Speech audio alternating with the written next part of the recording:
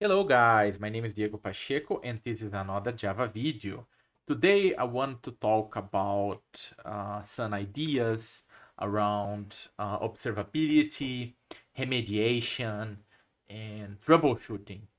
So basically I want to talk about how we can build a sort of uh, Groovy console around um, a Spring Boot application. You might be wondering why is that interesting because um, sometimes you want to troubleshoot an application or you want to fix something.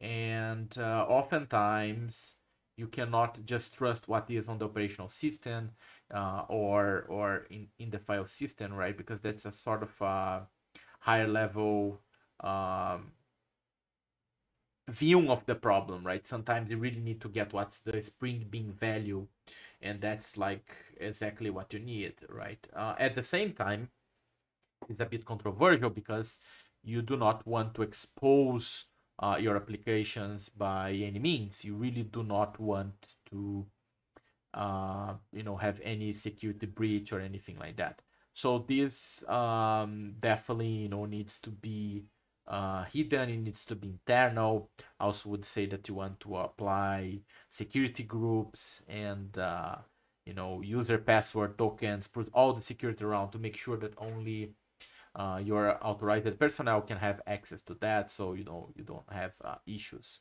Um, but it's a powerful tool, and the reason why I say it's a powerful tool because if you think about it, right, in observability you're gonna have logs, which uh, could be great if you use it well uh, but then you know metrics are better, uh, dashboards. Uh, but on the top of the of the chain, I would say that is a queryable interface, right? You, you being able to run queries and ask any other question you can, right? And with this sort of uh, idea here, you're gonna be able to do that, right? So uh, I just want to give uh, the credits to Gabor Bata. I basically, uh, you know, was heavily inspired by his uh, Groovy Web Console uh, GitHub repository, and uh, he has a Spring Boot application with that. Um, however, in his um, um, GitHub, he's using Java 11, and what I did was to adapt his ideas to Java 8. So I have the same working with uh, Java 8, but I want to give all the credits to Gabor. Um, okay, so let's go to the code and then um, later on uh, we can run the console and play with it, right? Or, or queryable interface for Spring applications.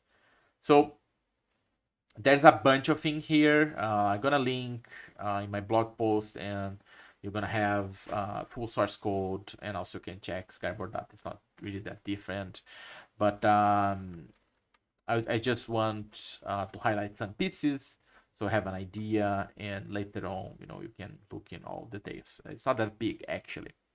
So we have an application all right? Uh, oh okay so sorry let's start with the dependencies first right? So in sense of dependencies you see here we have a spring boot application 252 right now spring is at 256 but uh, it, it, definitely works with a newer version it's not a problem uh, at all um, here what we have, all right? So we have Spring Boot starter web, actuator.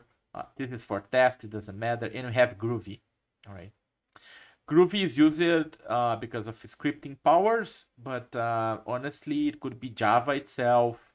There is some uh, frameworks that allow you to compile, run Java on the fly.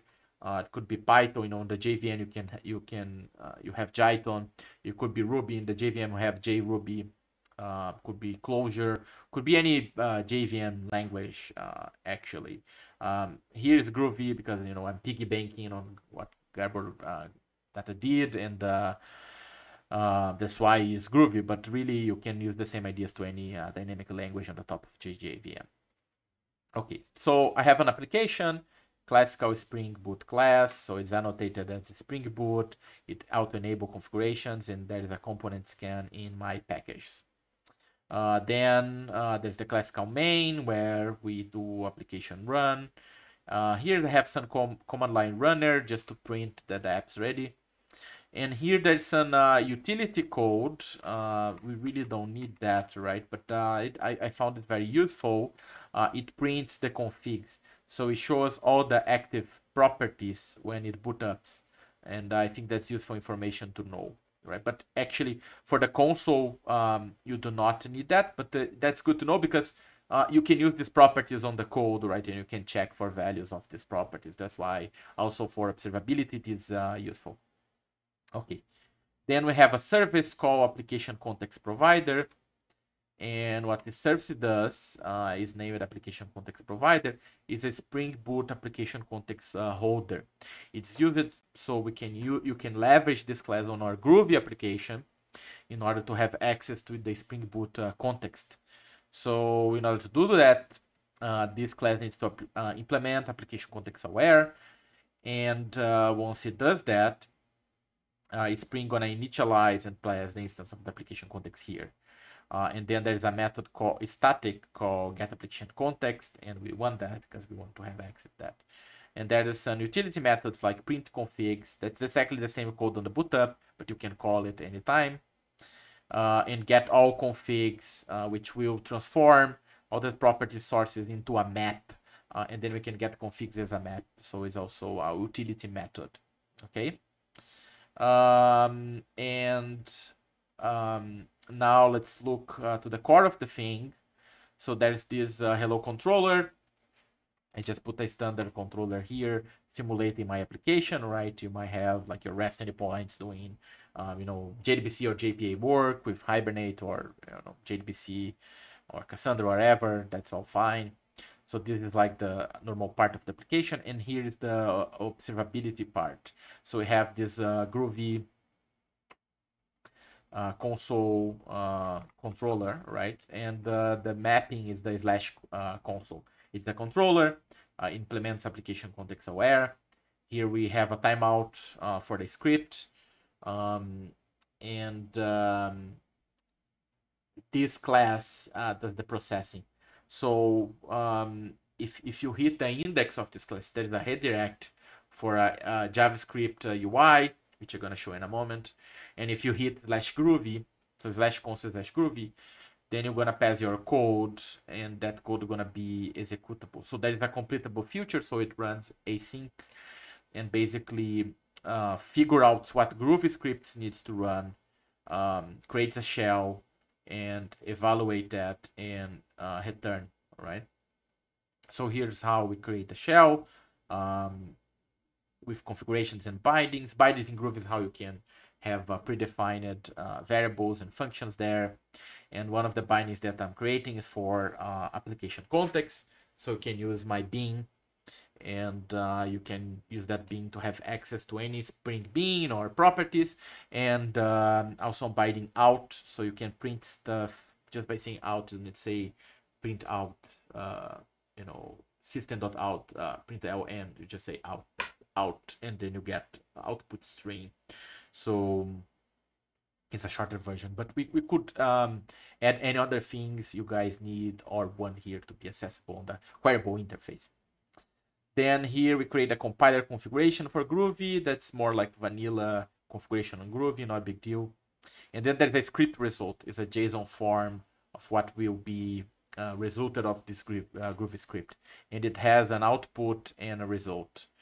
And um, basically uh, this is being uh, take care in sense of uh, you know uh, for, uh, formatting. So it's been formatted and that's it.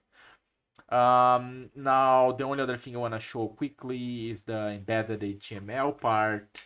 Um, so there's this uh, some JavaScript code here. There's the index.html and the index on the .html uh, there is a combo box where we point out specific Groovy scripts and these Groovy scripts are in this example folder.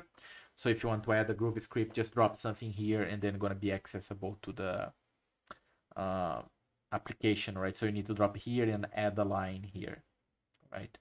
Um, this, this JavaScript application is mainly using uh, Groovy JS and jQuery uh, to do uh, the trick, right? I will not cover in much details, but there is some CSS um, and uh, there are some uh, images as well right?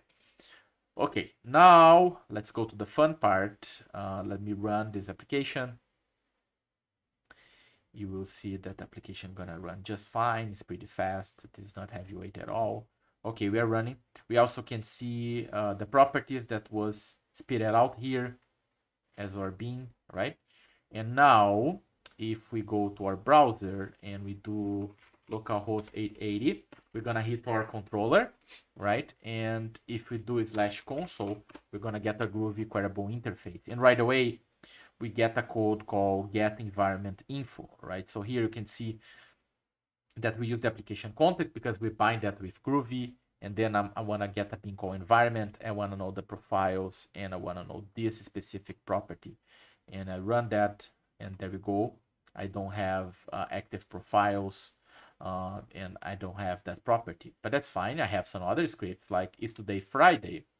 So here I'm using a calendar object in Java and I'm asking if the calendar equals Friday, so it's Friday, right? And if I execute, of course not, because today is Tuesday, it's not Friday. So uh, if I change this code a little bit, so Tuesday, right? And let's change it is Tuesday, right? And run, you're gonna see that's yes, right? So literally you can code uh, as big as you want uh, here and you can run it. That's super powerful because you can have pre-baked uh, scripts for observability and debugging. So look like this one, I have it here to print all the configs, right? So I get that application context binding I created, uh, I get this bean, and then I call all configs. And if I run this, voila, I have all uh, the environment variables. That's super useful for uh, troubleshooting. Uh, and then uh, I think I have uh, one more, this one here. This one here lists all spring beans, right? And I could use that to just um, use that beans to call it, right? I can do for loops, I can do anything I want here because I'm coding on Groovy, right? So this is super powerful for observability, for troubleshooting. Of course, like I said before, you need to um, to secure it, you need to use carefully, uh, but uh, it can be quite uh, useful for your applications. Okay, so I hope you guys like it. Uh, see you next time. Take care, guys. Cheers.